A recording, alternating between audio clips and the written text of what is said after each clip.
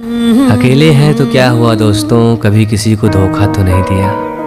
अकेले हैं तो क्या हुआ दोस्तों? कभी किसी को धोखा तो नहीं दिया। और ऐसा नहीं है कि हमने कभी किसी से प्यार नहीं किया या कभी किसी को दिल नहीं दिया। बस हमारा वो प्यार एक तरफा था, इसीलिए आज भी उसे खामोशी से निभाते हैं। हमारा वो प्यार एक तरफा था, इसीलिए आज भी उसे खामोशी से निभाते हैं। और जो नहीं समझ सके मेरी मोहब्बत को, वो मुझे सिंगल बॉय के नाम से बुलाते हैं।